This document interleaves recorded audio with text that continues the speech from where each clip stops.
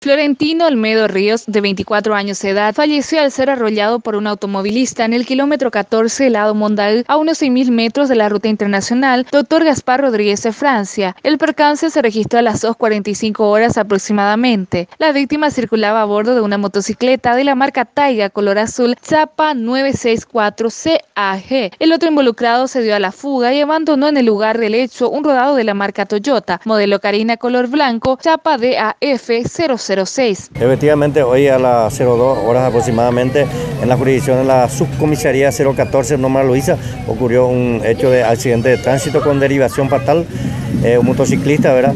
Y aparentemente ha abandonado el conductor del automóvil, un automóvil de la marca Carina color blanco, abandonó en el lugar. Se llegó a identificar, inclusive ya está aprendido en la subcomisaría 014, quien dio altísimo grado de alcohol y diríamos por la imprudencia, ¿verdad? Eh, imagínense, el conductor de este, la madrugada está alcoholizado y una imprudencia criminal el conductor que conduce su vehículo en estado de ebriedad.